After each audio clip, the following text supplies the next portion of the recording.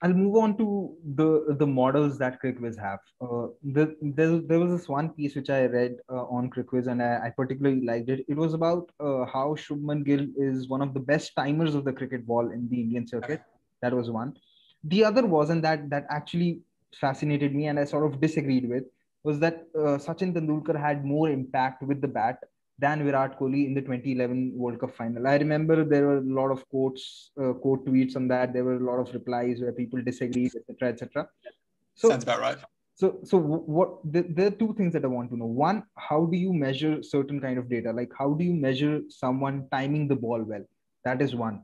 The other is uh, how do you develop these models where you had uh, the XR and the XW, which I think now you've taken off the website. So how are these data models worked upon and how are they measured? These are the two things because i think a lot of people still don't understand probably because they're a little complex that how do these uh, numbers come about? And that, i think that is also one of the reasons why people still don't sort of accept uh, you know the numbers that come out of CricViz. that is my understanding. I could be wrong but you know no i, th- I, th- I think you're bang on i think i think you're bang on. Um yeah the the the nature of being a company rather than hobbyists is that we do stuff behind closed doors and we present a lot of our stuff more so than most basically any of our competitors we present in terms of batting impact being available for every single T20 innings, apart from very recently when we've had to make some changes to the model and we didn't want it to be fluctuating within games when our technicians are working on it.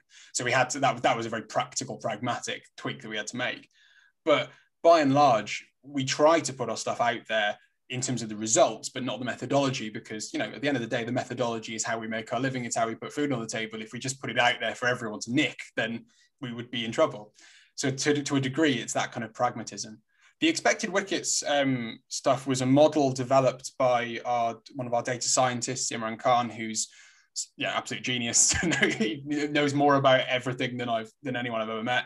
Amazing guy, um, and he basically he has a mathematical background and a physics background, and he he knows everything that you would need to know in order to create these models. And he's got access to data that no one else in the world has in terms of all this ball tracking data.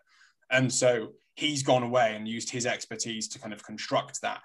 But then we've also got input from other data scientists, with, you know, within and without, the, with from within and with outside the company and stuff. So you've always got that kind of um, a kind of broader conversation happening around the models, and we're always trying to improve them. They're not fixed. So at one time, um, the, the the model will have suggested something, and then we'll make a tweak to it you know a couple of years down the line when we get the opportunity to and the, the the impact model might spit out something slightly different. It's not it's never very radically different but it might value you know we, we might have made some changes to our you know the value we place on wickets or the value we place on you know aggregated um, kind of risk or all this kind of stuff we in-game performance ground venues all this kind of stuff which you know very on, on one sense very basic in the sense that we're kind of placing greater and weaker emphasis on certain factors but it's also so many factors that it's hard to kind of constantly be conveying that to the public. And i think that's why i can understand why people maybe push back a little bit against the you know this black box producing a number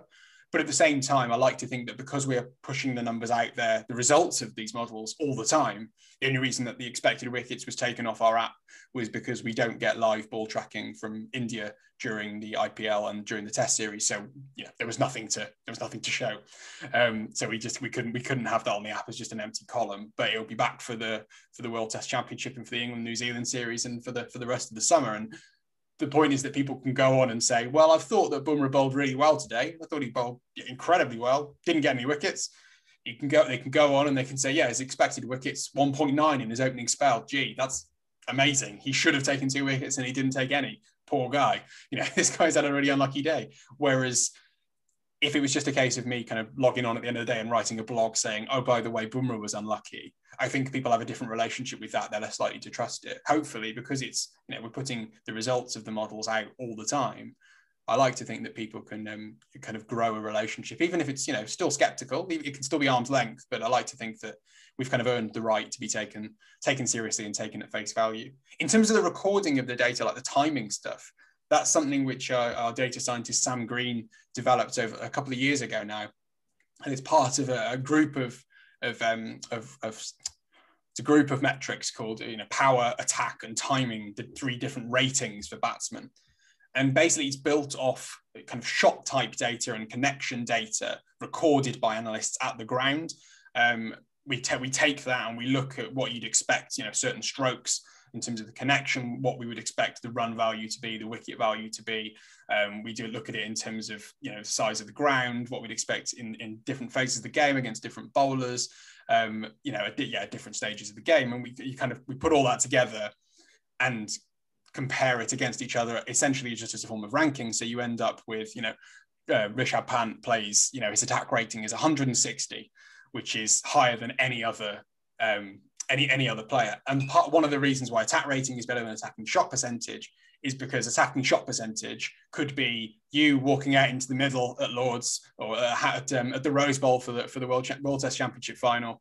You face your first over, you hoik three, play a three absolute massive hoiks over over mid on mid, mid on. You just go trying to trying to clear long on, uh, but the other three you leave. Your attack uh, your attack percentage, your attacking shot percentage is fifty percent.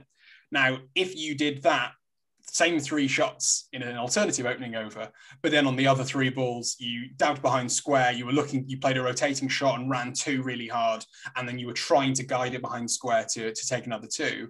You made contact, you played an attack, you didn't leave a single delivery. Your attacking shot percentage is still 50% whereas attack rating takes into account you know the full range of strokes. So it kind of it looks at the aggregated run value and wicket value for every stroke recorded basically in every game around the world for the last 15 years and uses that to kind of grade different strokes accordingly.